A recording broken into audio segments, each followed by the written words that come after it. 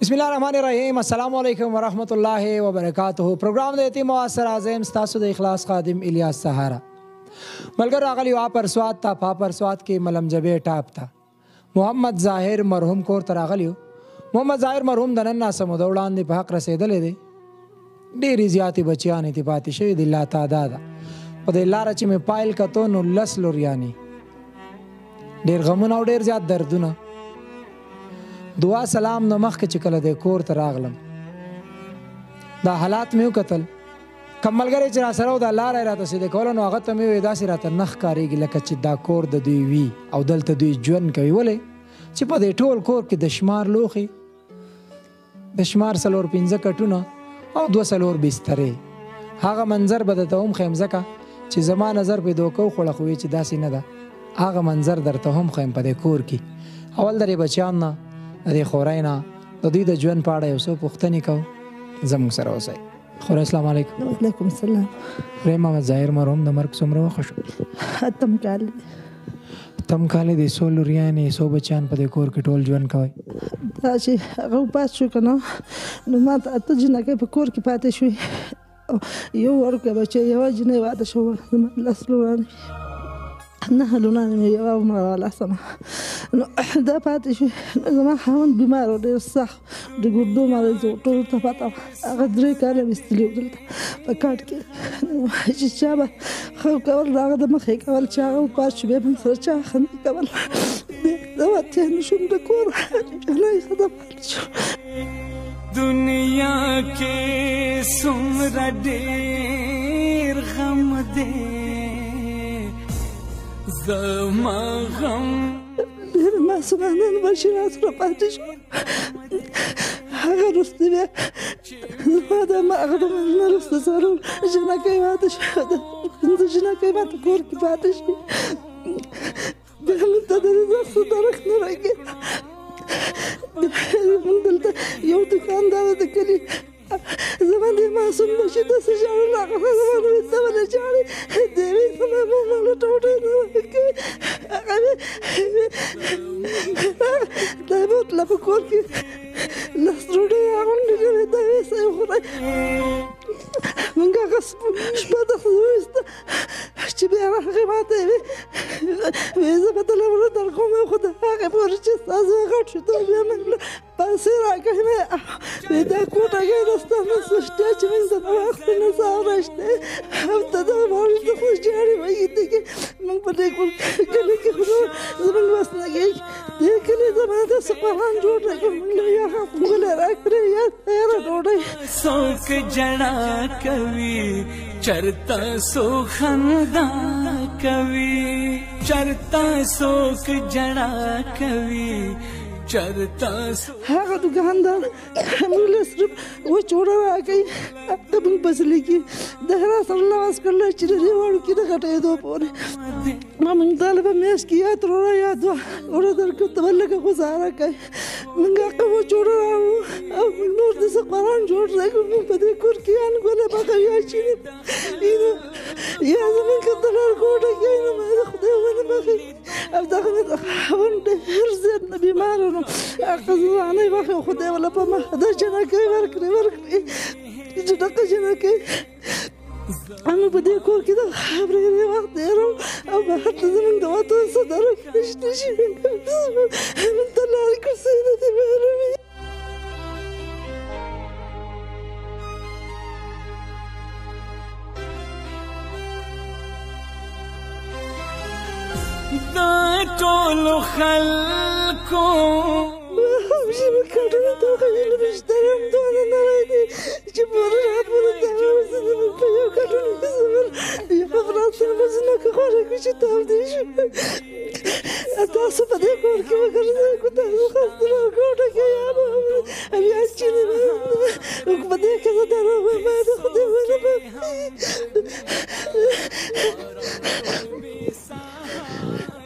امنیتي مواس پروګرامونه هم ډیر زیات کتلي دي او ډیر هم لیدلي دي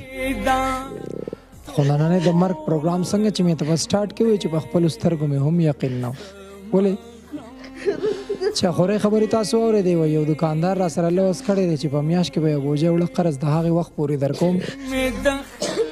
چې تر کومه پورې دا بچی غټ شوی نه وي د لسو خویندو یو ورور دی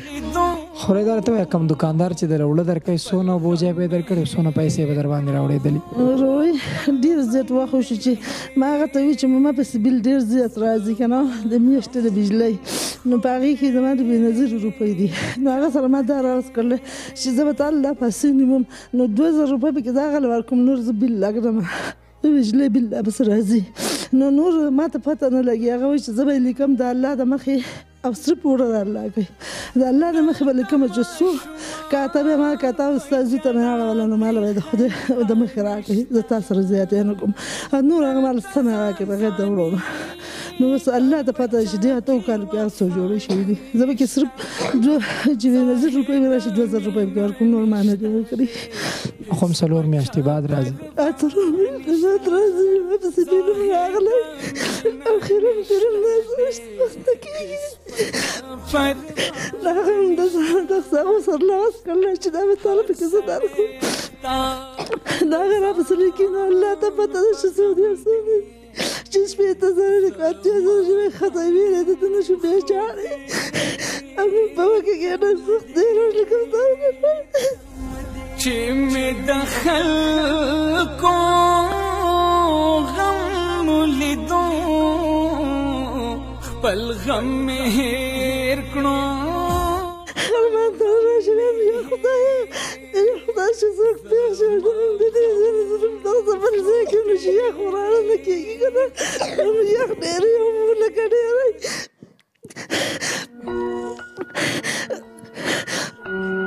خورای سره نورې خبرې نه کوم کنه دا غي وخت کې او سلګي خدا سدي چې وجل کوي چا نن تاسو کوم او ستي وکم تاسو ته هم نن ما سوسيږي چې نن پکې د سوال هم سنشته به هر حال کوم چې د لسو خویندو یو ورور دی د دې خویندو د سترګو تور دی د هغه په سر باندې هم ډېر زیات قرضونه دي ولې چې دې خویندو اته کاله د ده په کاته کې وړه وخوړه څونه پیسې به جمع شوي خدای د هغه دوکاندار سره ډېر زیات ښه وکړي چې کوم په دې سوچ په میاشت کې یو بوجۍ دوه دې خورۍ له ورکوي چې دا کاکي به غټ شي اته کاله یې د دې یو بچي په سر وړه خوړلې دي دا اوس هم ډېر زیات قرضدار دی د کور مشر دی چې دې څه کوي او څه تاسو ته کوم چې تاسو نوم دی اجمل خان اجمل خان څه کوي تاسو سکول ته ځئ او جی څوم کې شپږم کې مدرسې ته ځئ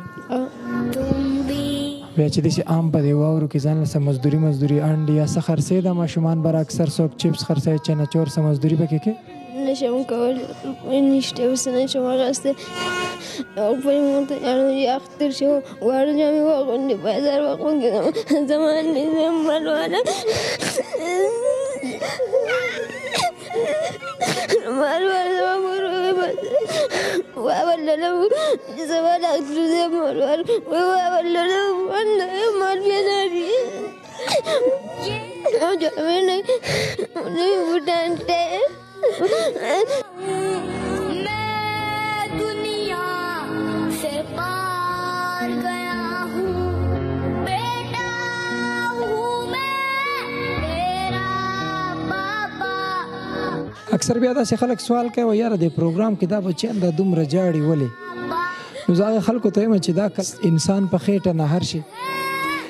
کله د جامې وږې شي کله د پایزار وږې شي د خېټې ولګه خوشي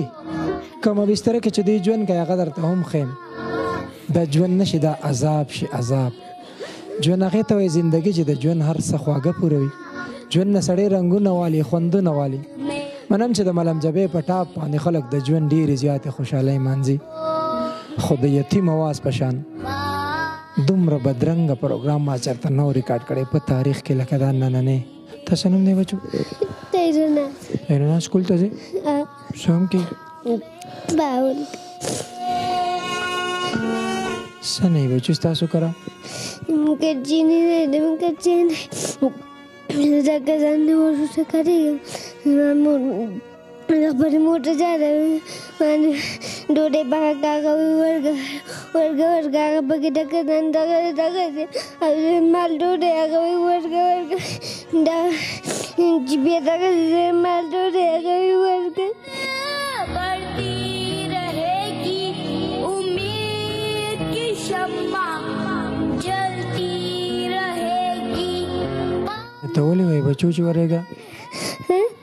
دا ته ولې وایې چې ورېږه؟ موږ هره ورځنۍ یو ځکه ځان په ژړا سکول ته ځه زه روپۍ دی نوره په ژړا نه ځې ښه بچی اوښکې پاکه شه بس مور له اوس روپۍ ورکوم ښه صحیح ده بابا ته له روپۍ درکوي صحیح شو تاسو نوم دی بچو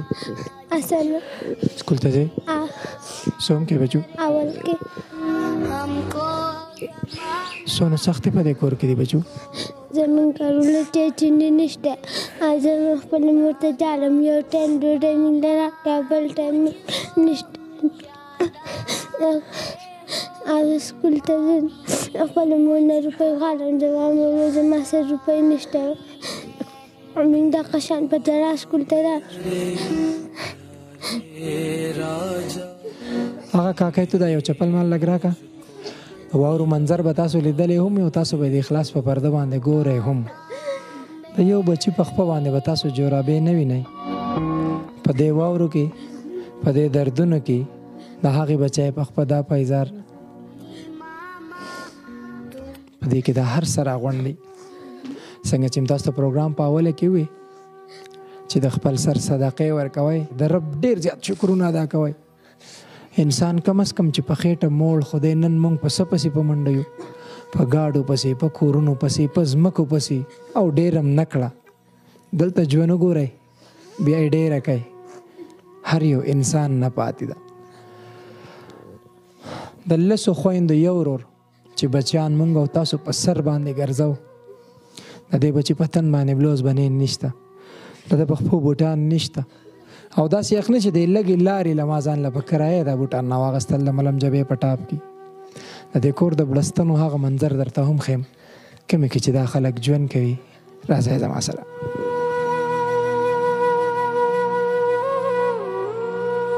قدرمنو بلې کمرې ته راغلو د دې کور چې کوم دلته کې پخلی به کېږي، څه پخلی به کېږي او څه به پاخه شي، خو به هر حال د اتو کالو کې ورته څه چونه څه ښودلی شوې نه دي، هر څه تور تور. سملي هم زما په خیال په دې کمره کې ولې چې دا بسترې د لوګو داسې تورې کړې دي چې دې نه هم سکاره جوړ شوي دي، دا بړستنې، دا طلایانې، مقصد د دې بچیانو د دې کور تذلیل کول نه دي. خو دا د کور حالات دي یو بستر په دې کټ کې ده خورای وای اکثر په ځمکه باندې وغړو دا کمره ګرمي چې خوب پکې وشي یو طرف ته بچي نهر وي بل طرف ته دیسي بلستان وي او د ملم جبه هغه واوري وي دا واوري هم تاسو کته شي د اخلاص په پرده باندې ژوند نه دی عذاب دی دلته په دې کور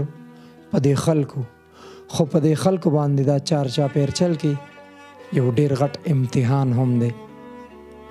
د بلستانو کې ناس خلک د کټونو کې ملاس خلک په دې تور تیارو کې د دې بچانو دا ژوند دا خلک نه دي دا زما استاد لپاره د جنت هغه چاویان دي چې د دوی په خدمت باندې به الله تعالی موږ له هغه ورځ راکوي کمی لپاره چې تاسو په تور چربانګ باندې د سهار مانځله پاسئ په یخو اوبو اودس چاردام کوئ په سخته ګرمۍ کې شپاړس ګنټې او پنځلس ګنټې روژه نیسئ د هغې رب د یری دا د هغې رب بنده دی او په حقوق العباد کې د ده په خدمت باندې زما او ستا راتلونکی سحر د ډېرو زیاتو خوشحالو سره دی خورې ستاسو د دې کمرې د دې بړستنو د دې لوښو لرګو دا منظر هم د دنیا ته وښو چې داسې خلک هم په دنیا کې شته ستا په بولقه باندې دا راسسېدلې اوښکې چې دا کومه په اوښکو لمده د دې کاکۍ دا اوښکې د دې بچیانو دا ژوند د هغې کاکۍ په خپه دا پایزار داسې قصې موږ په ژوند کې خو راوې زما پایزار دی پکې ونه کته